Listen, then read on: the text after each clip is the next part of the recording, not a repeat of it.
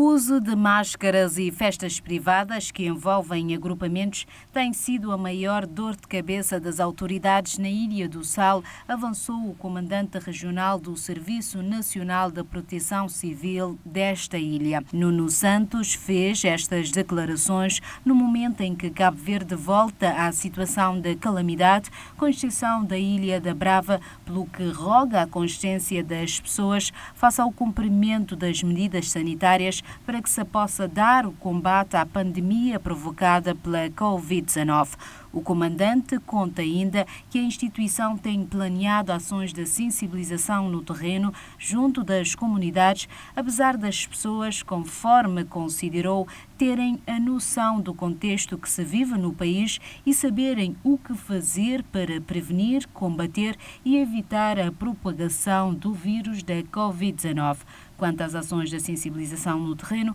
o responsável explicou que se baseiam em fazer as pessoas entenderem a importância do distanciamento, de não aglomeração, realização de festas, do uso de máscaras e higienização das mãos de realçar que a situação da calamidade no país foi anunciada sexta-feira 30 pelo governo através do primeiro-ministro Ulisses Correia e Silva devido ao aumento do número de casos diários da Covid-19.